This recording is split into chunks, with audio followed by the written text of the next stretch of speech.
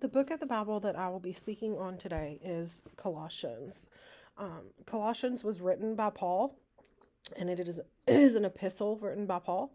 Um, it is believed to have been written between the years of um, 59 to 62 AD, and it was um, written to the church in Colossae.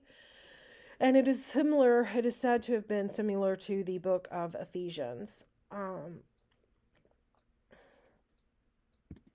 some of the historical context surrounding the book of Colossians is um, we see a lot in the epistles in the New Testament that there was um, false teaching, false teachings, and these doctrines of false teachings. Um, and so the church in Colossae had all had fallen prey to the false teachings. And in um, Nelson's Bible Dictionary, he states false teaching had taken root in Colossae.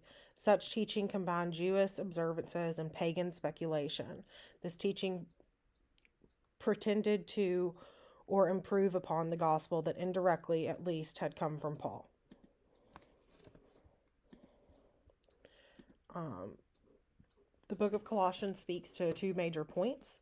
Um, those points are the divine nature of Christ and that Christ is all we need, and that a personal relationship with Him is all that we need.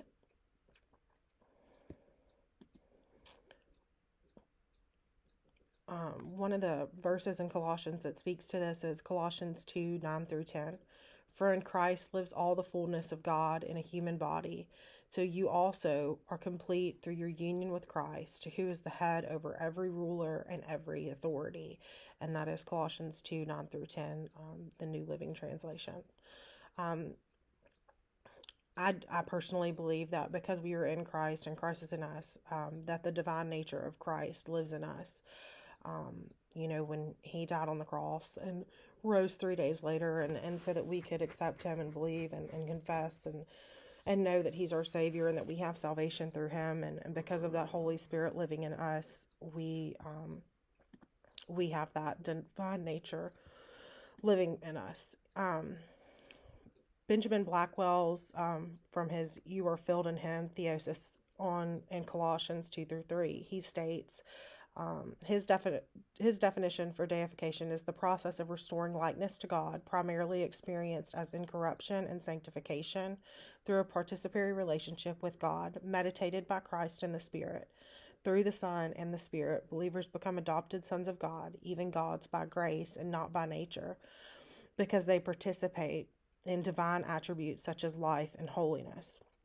Colossians 1:15 states in the New International Version, he is the image of the invisible God, the firstborn over all creation. One of the repeated words in Colossians after doing a bit of a word study in Colossians is all. Um, Colossians 3:11 states Christ is all and in all we need. And this this goes back to, you know, the one of the major points is the word all is in that major point. Christ is all we need. A personal relationship with him is all we need. And so we even though all is such a small word, we see it repeated over and over in Colossians. Um, and I believe that's to bring about this knowledge that we know that we should know and trust that um, Christ is all we need, that he is sufficient, that his grace is always enough. Um, and he's good and he is faithful. Um, Colossians 3 1 through 3 states, If then you were raised with Christ, seek those things which are above where Christ is, sitting at the right hand of God. Set your mind on things above, not on things on this earth. For you died, and your life is hidden with Christ in God. Um, as you therefore have received Christ Jesus the Lord, so walk in him, rooted and built up in him, and established in the faith as you have been taught, abounding in it with thanksgiving. Graham Tomlin states in his um, commentary on Colossians um, he is the true tree of life, loaded with fruit that we might gather, set open before our eyes and to our hands, not shut up as the other was after the fall, in a place of inaccessible. He is received to give to us. He is rich to enrich us. He is full to replenish us. His abundance is our bliss, and his treasures are the relief of our necessity. The Father gave him the world, and in him life and immortality. Neither suppose that he will impart only some of his benefits, as he has a superabundance of them in himself. So he communicates them all to us. He leaves no part of our nature empty. He fills up all with his graces. We derive from him all that is necessary to complete us.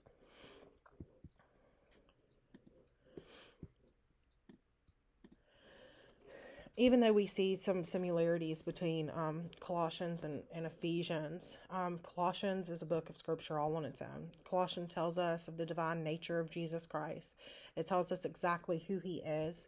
Colossians encourages us as believers to completely yield our lives to the will of God. It us to, encourages us to desire with all of our hearts to be like Christ. Um, Nelson states, the beautiful epistle on the majesty of Jesus Christ speaks to us today as much as to the Colossians. It reminds us that Jesus Christ is sufficient for every need and is still the most powerful force in the world.